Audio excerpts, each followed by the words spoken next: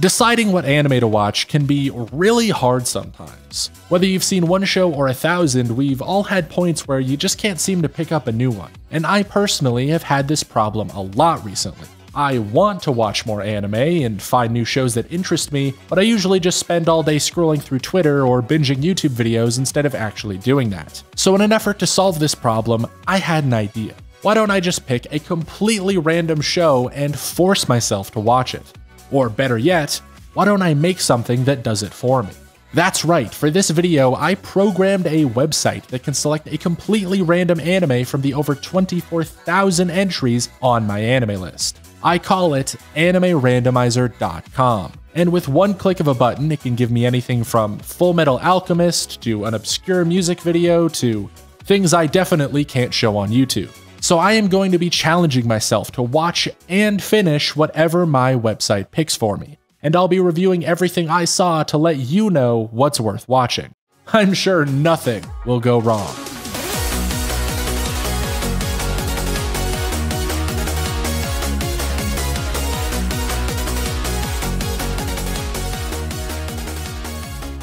Alright, let's spin our first anime. I am a little nervous because in the past I have gotten some absolutely insane results while testing and creating this website, um, but I'm hoping that I get something good. So let's go spin. First spin of the day, what do we get? Okay, so the first anime we're checking out this video is Yoru no Yatterman, or Yatterman Nights. And to explain Yatterman Night to you properly, I really need to explain a lot of the context and history that led up to it. You see, it all starts with the studio who made it, Tatsunoko Production. Tatsunoko is pretty well established, having done work on Ping Pong the Animation, Psycho-Pass, and Evangelion. However, before all that, they were pretty prolific in the 70s and 80s, and one of their works at the time, and the one relevant to this video, is Time Bokan. Time Bokan was an anime series aimed at a younger audience that aired in 1975. It starred a teenage boy and girl duo who fight an evil trio of bad guys known as the Time Skeletons, over a magic gemstone that the girl's grandfather left behind alongside his time machine. Every episode features the Time Bokan gang getting into conflict with the Time Skeletons over this stone, and every episode ends with the heroes defeating the villains with some goofy looking mech that blows them up into space. Classic kids anime. So classic, in fact, that that last part might sound familiar to you. And if it does, that's probably because the Time Skeletons are the direct inspiration for Team Rocket from the Pokemon anime. Though, if you want to get really granular with the origins of the villain trio archetype, Time Bokan's villains were actually inspired by the 1961 Disney film Babes in Toyland, which was based on an earlier 1934 Laurel and Hardy film and stage production by Victor Herbert from back in 1903. Not really important you know any of that, but I think it's interesting. All you need to know is that Time Bokan was very successful and influential, and spawned many, many spin off series that aired weekly until 1983, with some OVAs and revivals coming out all the way into the 2000s. These include such uniquely titled shows as Zenbumen, Otasukeman, Yattodetaman, Ippatsuman, Itadakiman, Isatsumen, and Kirameki-men. Though the first and most famous of all of them, and the one responsible for their strange naming convention, was a show named Yatterman. Yatterman ran from 1977 to 1979 with a total of 108 episodes. It featured a protagonist duo named Gan Takada and Ai Kaminari take on the mantle of Yatterman 1 and 2 to fight the evil trio known as the Doronbo Gang composed of Doronjo, Boyaki, and Tonzura. The Doronbo gang is led by the evil mastermind Dokurobe and runs scams and generally cause mischief in order to acquire a magical artifact. And every episode ends with the Yatterman thwarting the Doronbo gang with some animal based mech and blowing them up into space. And following Yatterman's gigantic 108 episode run, it sort of went dormant until 2008 where it got an animated remake sequel thing, an animated movie in 2009, and a live action film that same year. The latter of which being the top movie at the Japanese box office when it came out. Like, I'm not joking when I say it made as much on opening weekend that year as Avatar. Though sadly less than Night at the Museum too. and finally, the most recent piece of Yatterman content to be released is the show I'm watching today. Yatterman Night, which is a 12 episode follow up to the original that was released in 2015 to celebrate the series' 40th anniversary. So, to recap, I have randomly selected a 2015 show that is a spin off sequel to the 2008 sequel remake to the 1977 anime that was itself a spin off of another 1975 anime that took inspiration from a 1961 Disney film that remade an earlier 1934 Laurel and Hardy movie that was based on a 1903 operetta by Victor Herbert. I don't know how this keeps happening. Though honestly, I'm pretty lucky that out of all the Yatterman properties I could have picked, I got Night, because it actually works really well on its own and is quite different to what came before. How different, might you ask? Well, let's get into the recap. Yatterman Night opens with a bang. Literally.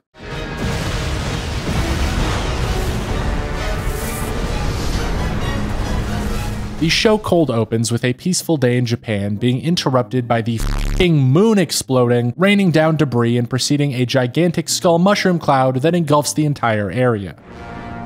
Bro, what the hell? What is going on? Yeah, despite the entire franchise up until this point being goofy kids shows, this one starts with an apocalyptic event and a much more serious atmosphere. The entire show then takes place in this sort of soft post apocalypse, with our main characters growing up in a destitute farmland just outside a nearby kingdom. These main characters are Dorothy, a single mother, Leopard, Dorothy's young daughter, Elephantis and Volcats, Dorothy and Leopard's two best friends, and finally their pet pig, Oda. Bro, Elephantis is my boy. Look at that guy. Look at how wide he is. As Leopard grows up, she's read bedtime stories explaining the lore of the land. A long time ago, the prestigious Lord and Lady Yatterman fought and bested the evil Doronbo gang, who were trying to steal the moon. After saving the day and the world, the Yatterman then founded the Yatter Kingdom, and everyone has been living happily ever since everyone except for our protagonists, as we learn that they are actually descendants of the ancient Doronbo gang, with Leopard being related to Doronjo and Elephantis and Volcats being grandchildren of Tonzura and Boyaki. I'm not exactly sure of Oda's relation, but my headcanon is that he's somehow related to the pig from the original show too. And while this Yatter kingdom is supposedly doing great, none of our characters happen to live inside it. So when Dorothy starts getting very sick one day, the trio sets out for the kingdom to get help.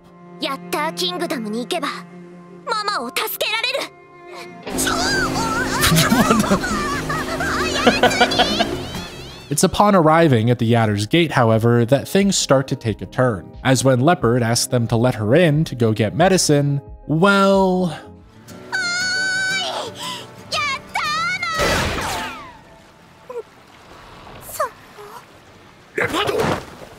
Turns out the Yattermen aren't nearly as nice as their stories portray them, and they shoot the gang away when they need them most.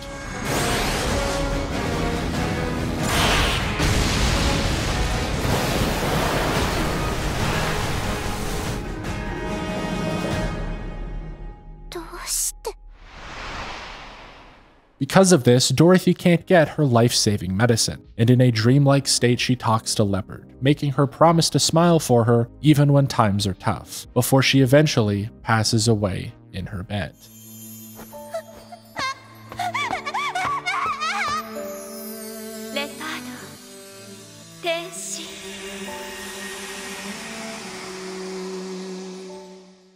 It's at Dorothy's funeral that Leopard begins to think. Surely these Yattermen can't have been the heroes from her stories if they'd let cruelty like this happen. Perhaps the Doronbo gang were actually the good guys, fighting to save the day and prevent this cruelty. Perhaps Leopard should do the same.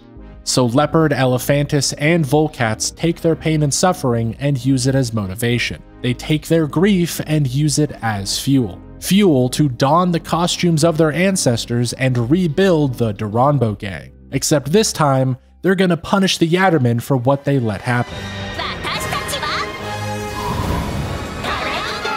Oh, hell yeah. That's kind of sick. I've never seen the original. That's kind of sick.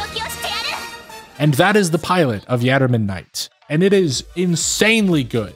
I cannot stress how incredible of a premise this show has and how well it starts this story off. Having it be descendants of the originals and swapping their roles is such a cool idea. I didn't realize how much I wanted something like that until I saw this first episode, because frankly, it is a genius way to reboot an old franchise. Even after the pilot, the show continues to flex its ideas by showing off how great these main characters are. Because going into the rest of the show, our trio immediately tries very hard to imitate the original Doronbo gang. They try to take after their mannerisms and personalities, and they try to do what they think the OG gang would do, which is fantastic because this new gang is nothing like the original. The OG Doronjo was a vain femme fatale, whereas Leopard is a pure hearted kid. The OG Tonzura was a gruff henchman, whereas Elephantis is a gentle giant. And Volcats even has a recurring joke where he wants to learn what high school girls are, since the original Boyaki was a creepy pervert. But Volcats is a gentleman and hasn't seen a schoolgirl before, so he just keeps saying he wants to see one as a catchphrase without knowing what it means. いやどうやらご先祖様は好きあらば下ネタを言ってたみたいなので私も努力してみようかと思ったのです坊ややんは努力家やな Honestly, it's great. And after our trio is established, the basic premise of Yatterman Night follows them and their pet pig on their way inside the Yatter Kingdom, heading towards the capital city, Yatter Metropolis, to get revenge. Oh, even the pig has a mask. Oh my god. Oh, that is cute. Along the way, we meet two more main characters named Ali and Gachen, who are also seeking revenge against the Yattermen for tragic backstory reasons. And these two sort of play the straight men to the main trio's Doronbo gang routine.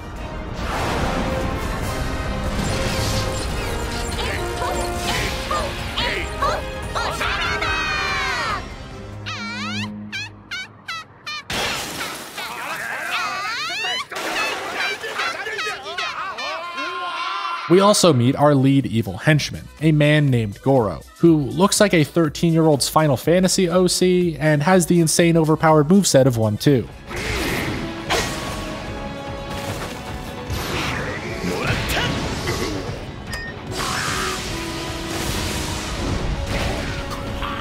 Naturally, Goro is joined by an army of evil robots who oppose our heroes at every turn. This sort of cements the backwards premise of this show quite nicely, as our heroes are very clearly the underdogs in the situation, and have to resort to clever tricks and dirty tactics every episode to stand a chance fighting the overtly strong villains, which does usually end up with the gang getting blown up at the end of every encounter in a fun twist on the original. The fight scenes before these episodic explosions are supremely fun though, as there's this clear goofy energy the gang brings that balances out a lot of the darker elements of the show. Even though these are rather serious encounters, we see stuff like Boyaki building a mech out of a vending machine at the last minute, or Doronjo setting traps that the villains fall into, or Tonzura just beating the shit out of people. And it's all amped up by the exaggerated animation and upbeat soundtrack that kicks in when the action gets started. There's a lot of over the top shots and compositions that actually reminded me a lot of something like Gurren Lagann,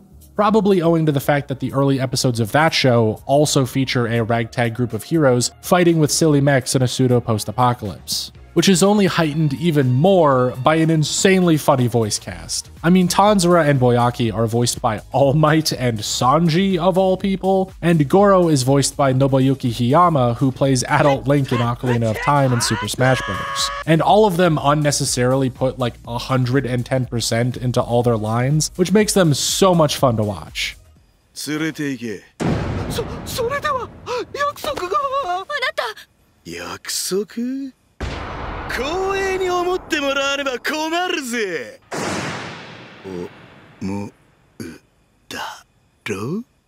Though, while I am heaping praise on Yatterman Night, I do also want to talk about some problems I had with it. The first of which being the pacing. Because the first three episodes of the show do a good job setting up the premise and characters, like I've explained. But then in episode 4, the show just hits this weird back to back brick wall of episodic adventures, basically weekly side stories on the way to Yatter Metropolis, and it is very slow. The middle six episodes of this show are all these adventure of the week scenarios. And they're not bad, they're very obviously referential to the original series. The gang finds a new location every week and helps the people there with their problems, which usually ends up with them fighting Goro and his army. There's even an episode where they team up with the monkey from Speed Racer, like an actual children's show, and save the day using the Mach 5, which is great since Speed Racer is another Tatsunoko property.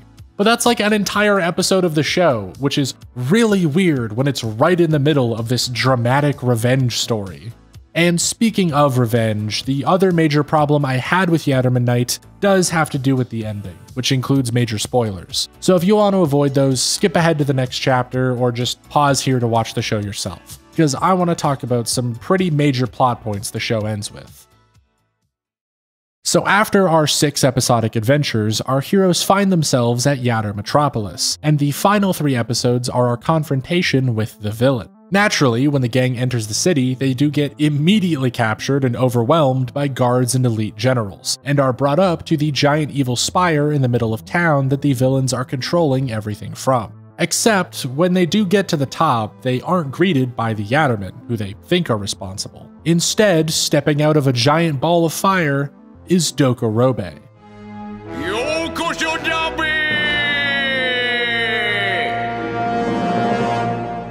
Dokorobe, if you'll remember, is the mastermind behind the original Doronbo gang, and the main villain of the original series. And he straight up says that the Yattermen are dead. He killed them after the original show, took their place, and ruled the kingdom in their name as a way to stay in control and ruin their legacy. And the reason our main trio grew up outside the kingdom is that he exiled the original gang after they failed him one too many times. So, this is the big twist of the show. It's very dramatic, very referential to the original series, and I didn't like it. I didn't think it was a good twist. Because up until this point, the show was very clear with its themes, which were all centered around the hero and villain switch up that the premise entailed. I mean, Leopard continually has this inner monologue about how her ancestors probably weren't the bad guys and might have been fighting for justice like she is. And there's a lot to be said about how we view our heroes and history being written by the victors. The whole show seems to be leading up to the descendants of the villains from the original confronting the former heroes and cementing a message about what being good actually means. Except they don't, because Dokorobe was in charge the whole time, and the Yattermen were good all along, and the OG Doronbo were evil. And everything is exactly what we were told at the beginning, with our heroes being essentially just wrong, which is not a good plot point to me. I don't think that makes the show better. I didn't like it. And after this reveal, the show continues to have some pretty compelling plot points. I won't even spoil those here, but there's some great reveals, and the show ends with a climactic fight that felt very satisfying. Lots of the characters get major arcs that wrap up, especially Ali and Gachan, and it ends with a great bit about having done right by those you've lost. It is genuinely a good ending, it was just soured by the reveal that the mastermind all along was this random dude that you only really recognize if you've seen the original show. It felt very weak in comparison to every other plot point we get at the end of the series. What the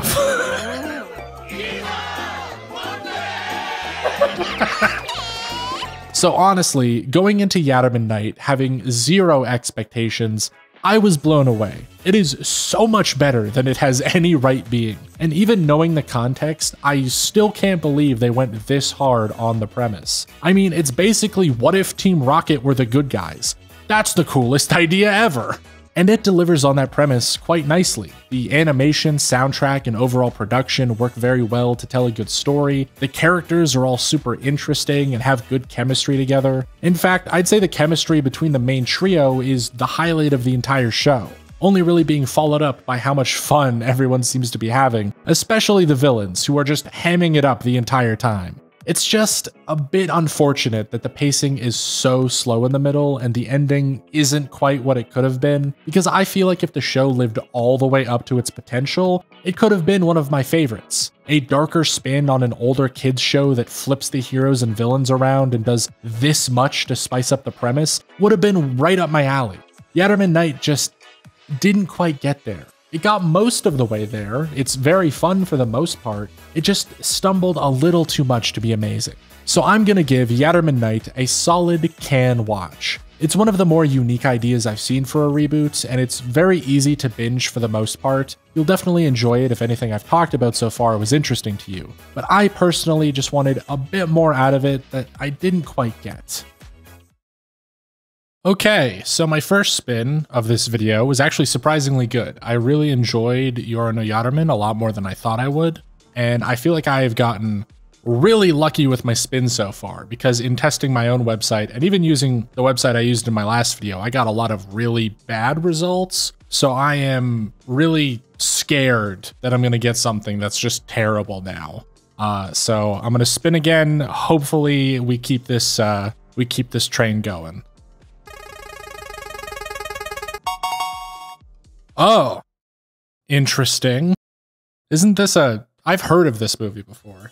The Girl Who Leapt Through Time, or Toki o Kakeru Shoujo, is a 2006 anime film directed by Mamoru Hosoda, animated by Madhouse, and based on the novel by Yasutaka Tsutsui. This movie was actually first recommended to me in a comment by user Masked Fox, and I'll tell you right now that it is very funny that they recommended it for reasons that will become apparent later. But for right now, thank you very much because what a movie to watch. Now, it isn't nearly as beloved as juggernauts like Your Name or anything Ghibli related, and the online conversation around it does seem quite minimal, but as you'll see, those who like The Girl Who Leapt Through Time really like it. It's got fantastic reviews, it's won several awards, including Animation of the Year from the Japan Film Academy, and despite being shown in a limited number of theaters, there's a story about how in Theater Shinjuku, so many people wanted to buy tickets for it that they stood up in the theater to watch it for several days before it eventually got a wider release which all probably makes a lot of sense to anyone who recognizes the names I mentioned were attached to this project. I mean, Tsutsui is a highly regarded sci-fi author, having also written the original novel for Paprika. Mamoru Hosoda later went on to make the first non-Ghibli anime movie to be nominated for an Oscar, and Madhouse is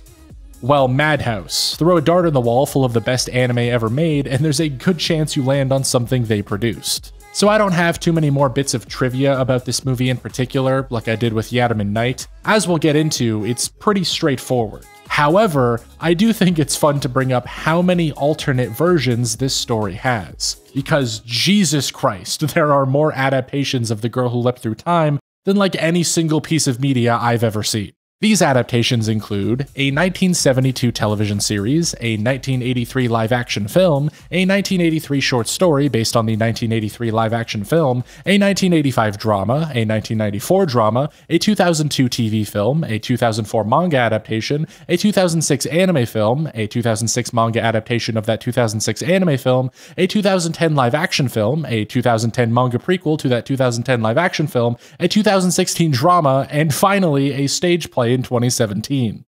People really like adapting this story. I mean, the adaptation section on Wikipedia is longer than the rest of the article. But as much as I want to make a 4 hour long video comparing and contrasting every version of this story, I will instead simply tell you about the 2006 anime film that I picked and what it's all about. So let's get into that. The Girl Who Leapt Through Time begins with a girl.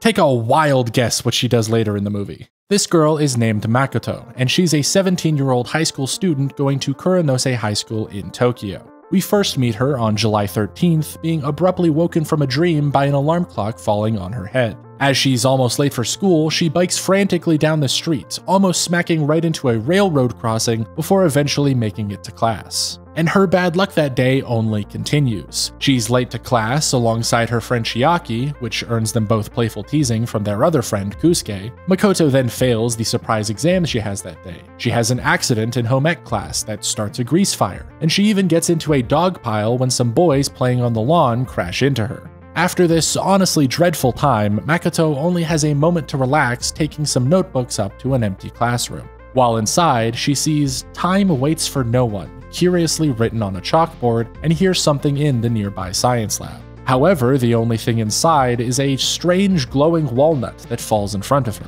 Bending over to pick it up, a shadowy figure enters the room, causing Makoto to stumble and fall onto the walnut, and seemingly through space and time. Whoa, what the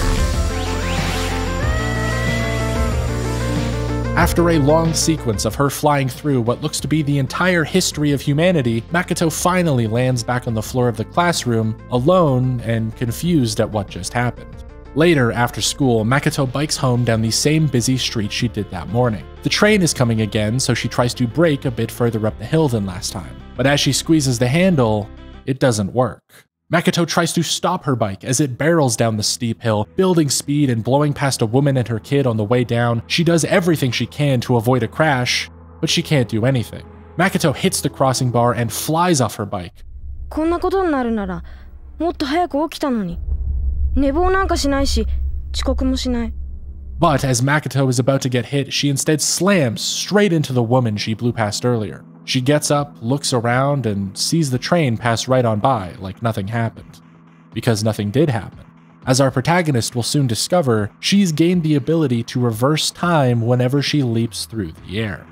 Now, I'm a big fan of time travel stories, especially ones along the vein of Groundhog's Day. Seeing people relive moments in their life, or really just seeing how time travel affects someone's day to day, is fascinating. So, this movie is right up my alley. It's that perfect blend of science fiction premise clashing with a slice of life plotline and Makoto uses her powers pretty much exactly how you'd expect someone who got them would. She relives her terrible day, acing her exam, and swapping with a classmate in home ec so they start a fire instead. After school, she goes to karaoke and resets a whole bunch so she can sing for 10 hours straight. She even goes back several days to the night her parents made teppanyaki just because she was craving that for dinner. It's that exact sort of wish fulfillment I think everyone dreams about, and Makoto acts just like I'm sure anyone watching this would if they got these powers in high school. Like, yeah, I'd probably use time travel powers to eat a nice dinner again too. Why not?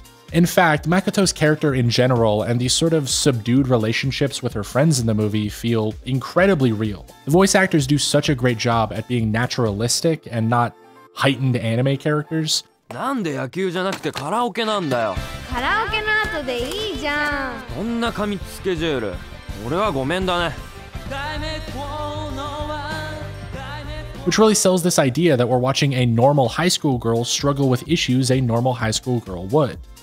Plus, you know, time travel powers. And this is all complemented, of course, by the insanely beautiful animation, which fits right in with the naturalistic characters as it just paints the background with some gorgeous skylines and well defined cityscapes. Again, the movie succeeds at being as grounded as it can, but the long shots of friends just playing baseball or hanging out at school are really easy to watch. Madhouse, and Mamoru Hosoda in particular, did a really great job making something visually interesting out of what would just be boring compositions in a regular anime.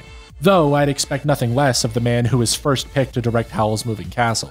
So after stuffing this thing with enough praise to make it burst, I am going to go into the spoilers a bit early because if you have any interest in watching this movie, I'd say you should absolutely do it. I don't want to ruin any of the plot details for you. But I do want to cover some of the final plot points, so skip to the next chapter to avoid that if you want. So, as we come to find out throughout the plot of the movie, The Girl Who Leapt Through Time is primarily a love story, and a very messy one at that. Uh, messy in a good way, I should say.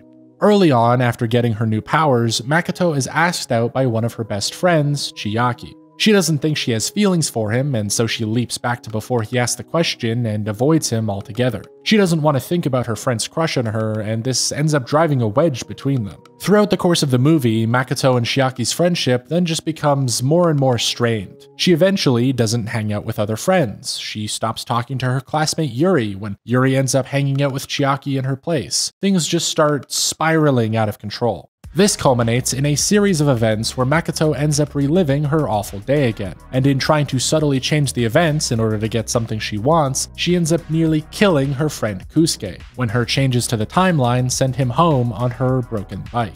Makoto tries to stop this, though it's actually Chiaki who saves Kosuke, and reveals himself as the time traveler that dropped the walnut, giving Makoto her powers. However, both Chiaki and Makoto had been using up a finite number of time leaps, and so by saving Kosuke, Chiaki is stuck in the present, which depresses him enough to make him disappear, leaving Makoto alone to cry and confront her feelings for him. 過去の住人にタイムリープの存在を知らせてはならない。だから、お前とはもう会えない。千秋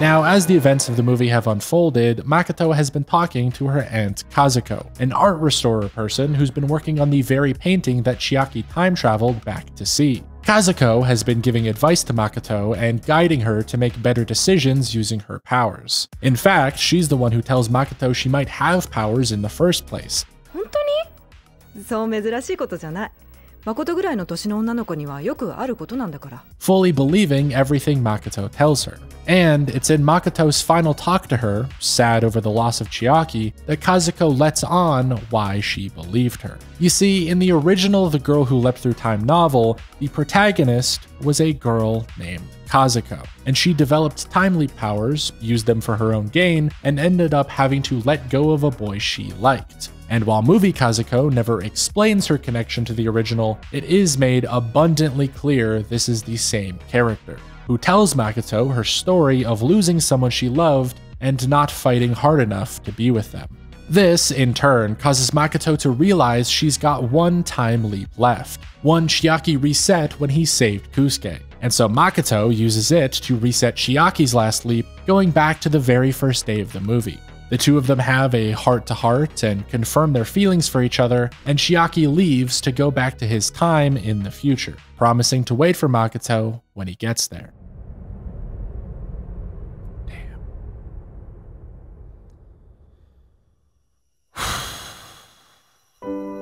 Damn. I really love this ending and the relationship between Chiaki and Makoto in general because while this movie is clearly a romance, it is surprisingly complex with how it portrays everyone's feelings towards each other. I mean, right off the bat, Chiaki asks Makoto out in this super awkward scene. Makoto. Hmm? 俺と付き合えば Oh my god. That's so cute. They then have this sort of complicated dynamic where they both feel something but don't want to talk about it, and it starts to break them apart. And even at the end, it isn't a big climactic kiss or anything. They don't even really say they like each other, they just sort of know. And that, to me, is the genius of The Girl Who Leapt Through Time. There's a lot of decisions the film makes that make it a much messier story. It's not as neatly defined as something like even Steins Gate, which came out years after. But it's that messiness that makes it hit so much harder for me because it's so much closer to real life that way. I can just imagine myself in any of these situations. And I especially love how it ties the story to the original novel with Kazuko the Aunt. I haven't read the novel personally, so I don't know the full story beyond plot summaries on the internet. Honestly, if you're watching the movie first, you're not even going to know why she's important. But having that context is beneficial because it very elegantly carries the themes of regret and fixing mistakes all the way through. It's not just leaping through time to fix things, it's giving advice to younger generations so they don't make the same mistakes, which is extremely cool to add when it's not even something most people will pick up on without being familiar with the original work.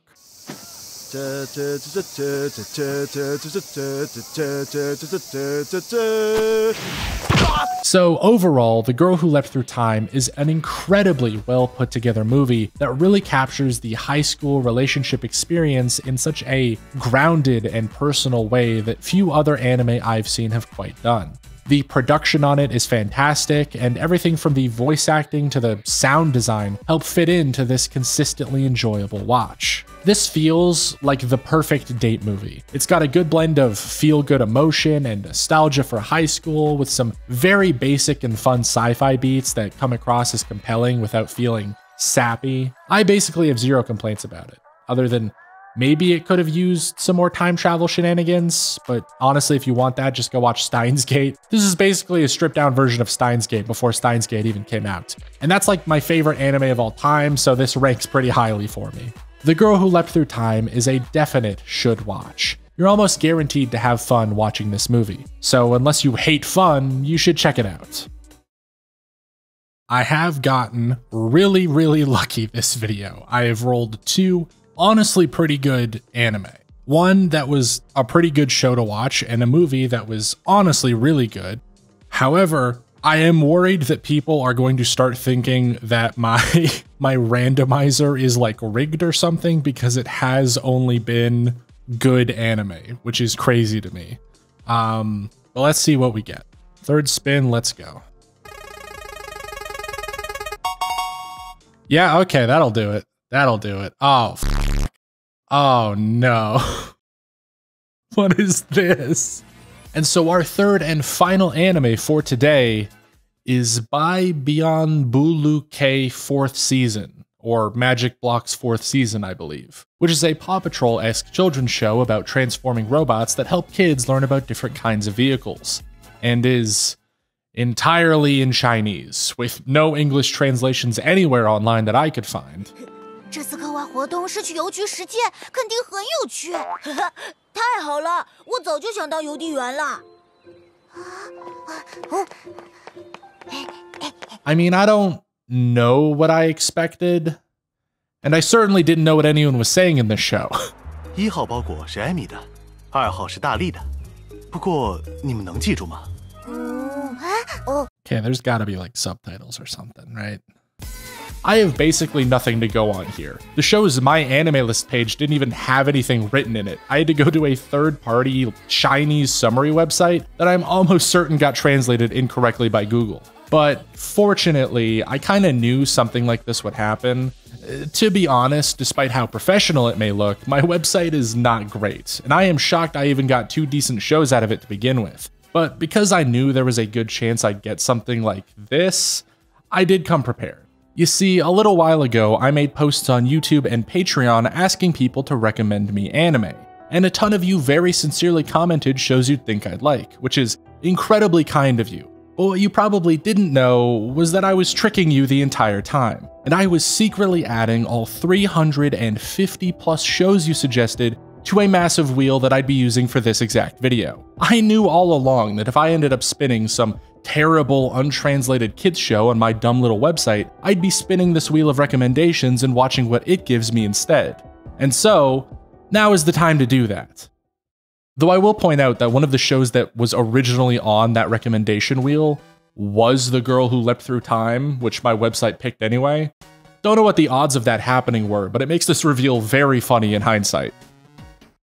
Okay, so I have a wheel that has 353 anime recommendations that people have commented, um, and we're just gonna spin it and watch 12 episodes of something that is not a weird Chinese kids show. let's let's see what it says.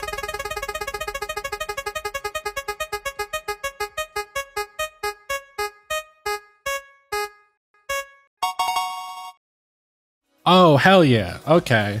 Wow, that's actually really good. Trigun Stampede, recommended by Newton Witter, is a very new 12 episode 3D CG anime that just finished airing while I was writing this video. I promise that's a coincidence. Uh, you saw me spin the wheel, I, I don't know how I'd rig that. Stampede is produced by Studio Orange, who previously worked on Land of the Lustrous and Beastars. It's also directed by Kenji Muto and based on the original Trigun manga by Yasuhiro Nightow. Now, you've probably heard of Trigun before. I mean, if you somehow stumbled upon this video and don't know there's an original anime from 1998, I don't believe you, because it's Trigun. It's like one of the most beloved shows of all time, to the point that even just running an anime channel, I get comments nearly every day from random people asking my opinion on it. On completely unrelated videos. You could scroll down to the comments right now, and I would be shocked if most of them aren't by people talking about Trigun. And uh, those people might be a little disappointed to find out. I've never seen it. I have not watched the original Trigun. Cowboy Bebop is one of my favorite shows ever, and I literally cannot stop talking about how much I love space westerns, and I just never saw Trigun for some reason.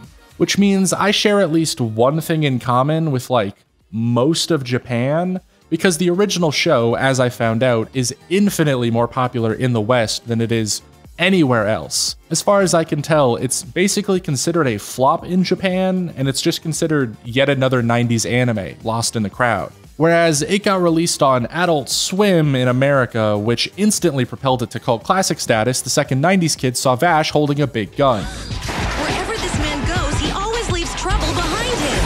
Over half the town ain't nothing but rubble. It's Master Stampede. He's coming our way. He's coming.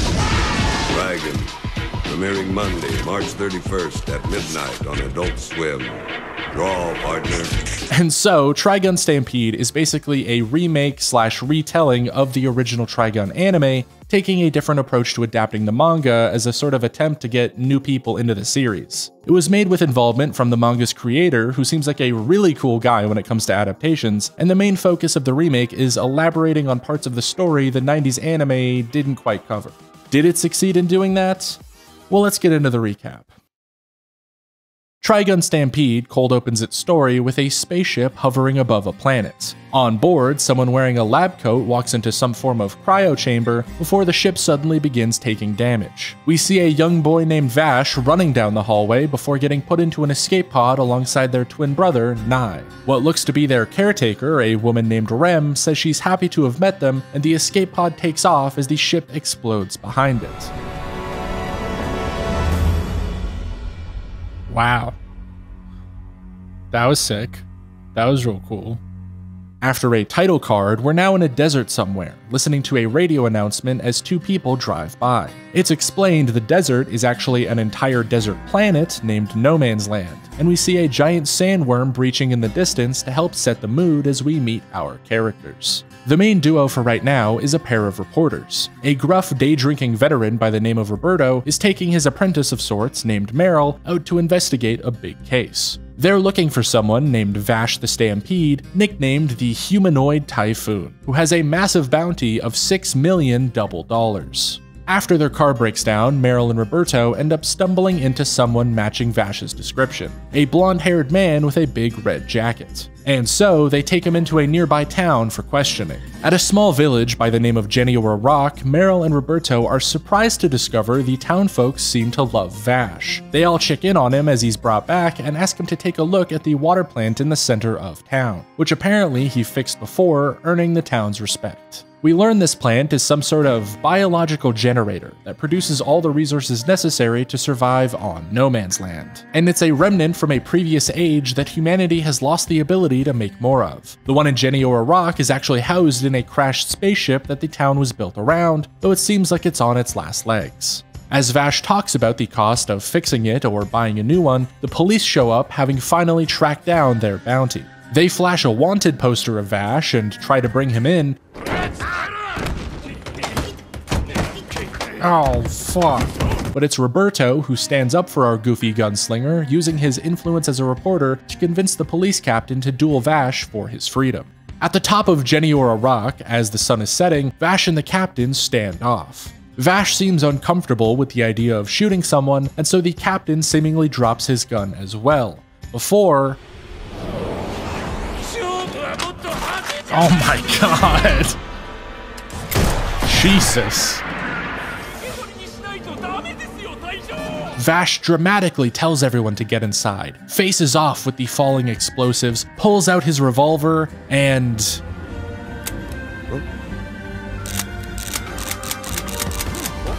Out of ammo, Vash pathetically asks everyone for some bullets, which Meryl grabs from the bartender and throws to him. The police chief shoots at Vash and tries to stop him from firing, but Vash just beats him hand to hand before throwing a rock into the air, shooting it to splinter, and detonating the cluster bombs right above him.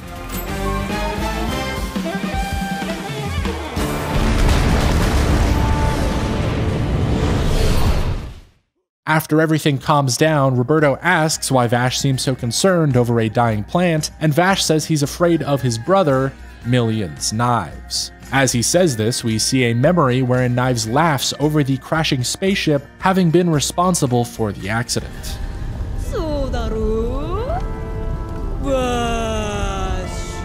This flashback leads into a grown up Knives playing the piano ominously, and the episode ends. Oh my god, this pilot is awesome. Crazy sci fi concepts, a sick Mad Max meets Dune type setting, ridiculously cool action scenes, a dude named Millions Knives. I don't know why I didn't get recommended Trigun earlier. Okay, no, stop. That that is not fair. Honestly, if that first episode doesn't hook you immediately into this show, I don't know what could.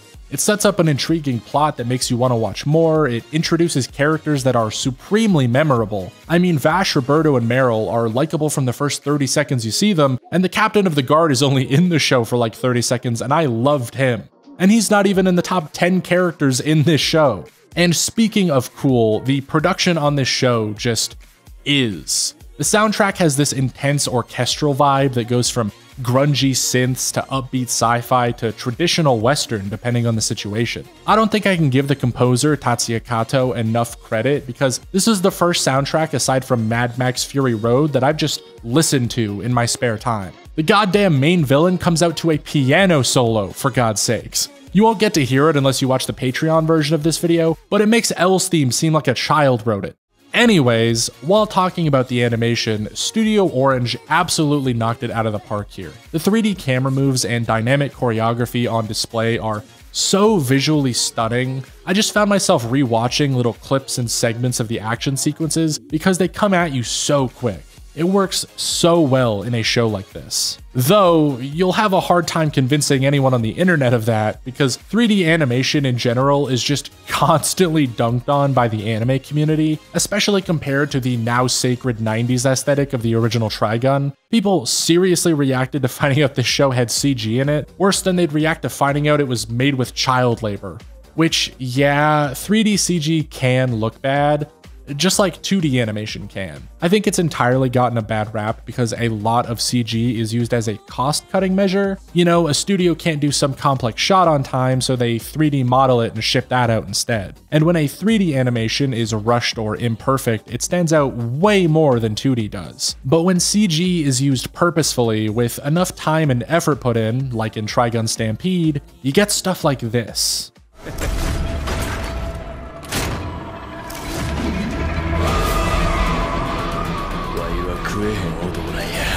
And if you think that doesn't look great, please close out of this video and never look at my channel again because you're a liar and I don't want to be associated with you. The CG in Stampede is absolutely phenomenal. In parts, I'd even say it looks better than 2D could simply because they can whip the camera around like crazy and do stuff that traditional animation can't without like a decade spent making it. And the show even flexes on you by including several segments of just traditional animation purely as a stylistic choice. I legitimately don't see how someone could think any of this looks bad after watching it. And after watching it, up until the final episode of the season, I think this is definitely something people should go into knowing nothing. Even if you've seen the original Trigun, as far as I can tell, a lot of the plot points and developments are new here. So I'm not even gonna do a spoiler segment. I love the later plot of the show, but there's nothing in it that I have that much to talk about, and it's incredibly new. So I don't want to ruin the experience for anyone. Just trust me when I say that it's good.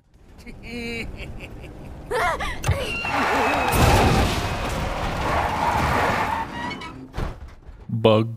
Trigun Stampede is one of the best shows I've seen in a while, mostly because it's one of the most appealing shows I've seen in a while. It hits every single note I like in my media, and it does everything I wanted it to extremely well, to the point that I'm having trouble even thinking of things to criticize or talk about negatively.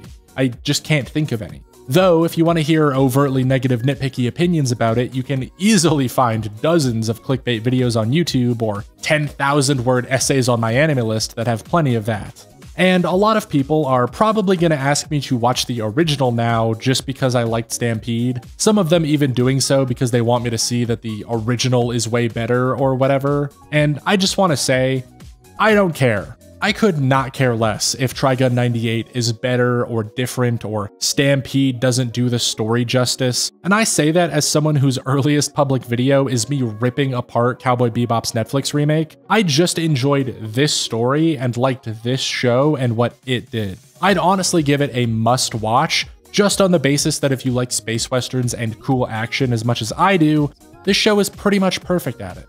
And don't worry, I will watch the 98 anime. I'm getting around to that very soon. You don't have to leave a comment reminding me. I'm gonna watch it, I'm gonna love it. But if Stampede's purpose was to get people into the original anime, then I'd say it did its job perfectly. And that's three more random anime watched in their entirety and reviewed for you. I'm actually really happy with the selection of shows I got this time. All three were incredibly meaty and had a ton of stuff for me to dig into and enjoy. It's pretty crazy how well picking random anime worked out here. I cannot guarantee that my website will give anything near this good of results if you try it for yourself. In fact, it'll probably be a lot closer to stuff like By Beyond Bulu K. But it worked out for me, so that's all I care about. And if you're interested in my website, I am putting up a video on my second channel that goes over how it works and how you can make something like it yourself. You should be able to check that out here. I am going to try and add more features and make it look nicer in the future, but it is just a side project, so someone who's a better programmer than me can make something a little more robust if they want. I also tried to do something a little different with this video compared to last time. In the previous version of this, I just recapped and went over the entire show as I saw it and then gave my thoughts at the end. And I was originally going to do that again here. I actually had about 20,000 words written for just the first two shows, which would have been over twice or three times as long as this video currently is. But I wanted to spice things up since recapping whole episodes at a time is just kind of boring and takes a long time, and also being able to segment off spoilers seemed like a good idea. So let me know in the comments what you thought of the formats, whether you liked this or the last video structure more. I'm interested to hear your feedback on it. And finally, thank you to the patrons, whose names have probably been scrolling up for a while now. If you want your name at the end of one of my videos, check out patreon.com slash Lextorias. It's only a dollar a month, and I'm adding a bunch of new stuff to it, like a monthly Q&A that's up right now, where you can ask me anything you want. I also want to do polls in the future where you can vote on what video I make next, and this is all alongside the behind the scenes posts and regular updates I'm already putting out there. Check that out if you haven't already. Thank you so much for watching. My next video should be coming out pretty soon and will be pretty interesting to you if you like Trigun. So stay tuned for that. I'll see you next time.